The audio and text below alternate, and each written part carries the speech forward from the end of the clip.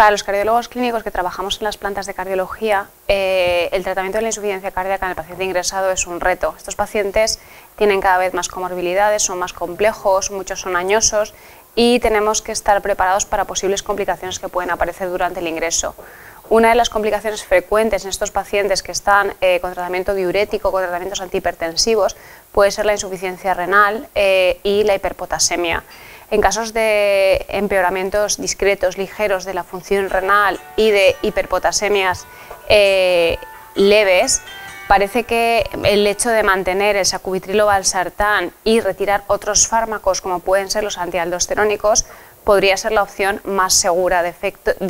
por el efecto nefroprotector que ha demostrado tener el sacubitrilo valsartán por su mecanismo de eh, mantenimiento de la presión intraglomerular en la nefrona, así como el aumento de la natriuresis, la diuresis, la inhibición de, la actividad de la vasopresina, entre otros mecanismos. Esto se ha visto reflejado en los subestudios del Paradigm, tanto en los pacientes con eh, insuficiencia renal y en los que demostró que que mm, disminuía los eventos cardiovasculares eh, de la misma manera que los pacientes que no tenían insuficiencia renal. Aparte, en el subestudio de la función renal demostró que la tasa de filtrado glomerular eh, eh, se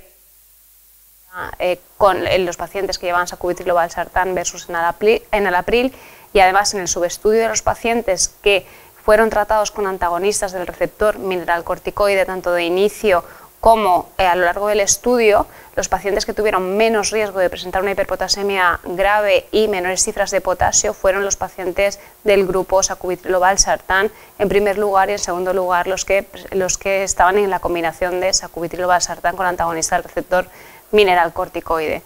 Por todo ello, parece que es un fármaco que debemos considerar e intentar mantener una vez iniciado durante el ingreso por todos sus beneficios, tanto a nivel pronóstico como a nivel de remodelado ventricular. Gracias.